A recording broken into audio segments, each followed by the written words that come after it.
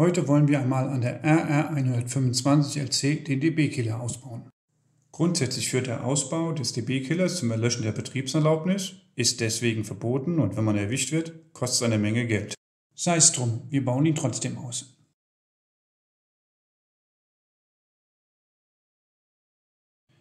So wie hier gezeigt, sieht der DB-Killer bei der RH125 aus. Wir wollen ihn heute mal ausbauen und probieren dazu verschiedene Techniken.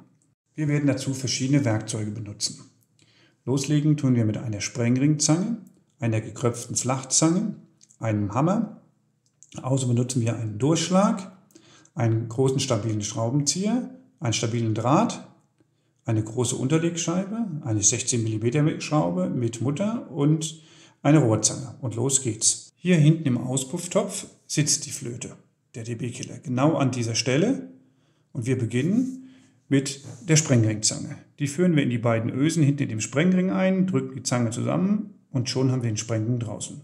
Das ging ganz einfach. Wenn der Rest genauso einfach geht, wird es kein Problem. Wir versuchen die Flachzange im DB-Killer zu verhaken, irgendetwas zu greifen, um den DB-Killer herauszuziehen. Ihr seht schon, das sieht nicht so gut aus und hat auch überhaupt nicht funktioniert. Okay, unternehmen wir einen weiteren Versuch. Wir nehmen dieses Mal den Schraubenzieher und versuchen damit an verschiedenen Stellen anzusetzen und den DB-Killer aus dem Auspuffstoff herauszuhebeln.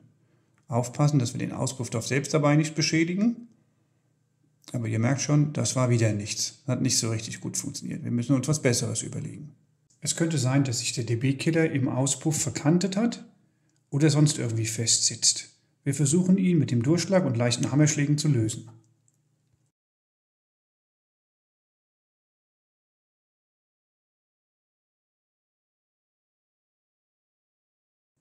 Lassen wir die Flachzange nochmal ran.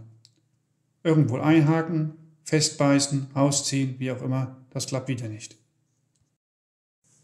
Versuchen wir etwas ganz anderes. Besorgt euch einen Draht, möglichst stabil, an dessen Ende ihr einen Haken biegt. Diesen Haken versuchen wir jetzt im DB-Keller einzuführen. Ihr habt am Anfang gesehen, dass der DB-Killer verschiedene Löcher hat. Wenn wir ihn da einhaken können, schaffen wir es vielleicht, den DB-Killer herauszuziehen. Am besten hält jemand das Motorrad fest, damit das Motorrad nicht vom Ständer fällt. So, kräftig ziehen, Motorrad festhalten und in diesem Fall hat es geklappt. Schwuppdiwupp, da ist der DB-Killer. Wie er aussieht, haben wir euch am Anfang schon gezeigt.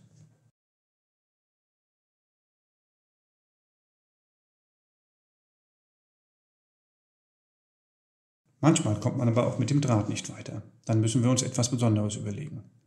In diesem Fall haben wir in den DB-Killer ein 16 mm Gewinde geschnitten. Ein 16 mm Gewindeschneider hat nicht jeder vorrätig, also mal im Freundeskreis herumfragen. Wenn wir das Gewinde geschnitten haben, setzen wir von hinten die große Unterlegscheibe als Schutz und als Anschlag auf dem Auspufftopf auf. Schrauben nun die große 16 mm Schraube hinein und ziehen die Mutter bis zur Unterlegscheibe an.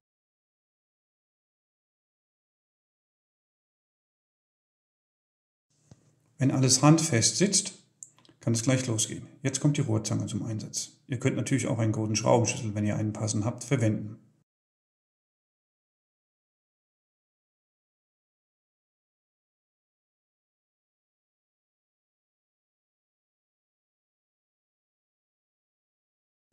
Geschafft. Der DB-Killer ist draußen. Diese Methode funktioniert auf alle Fälle. Probiert es selbst aus, wenn ihr die anderen Methoden vergeblich probiert habt.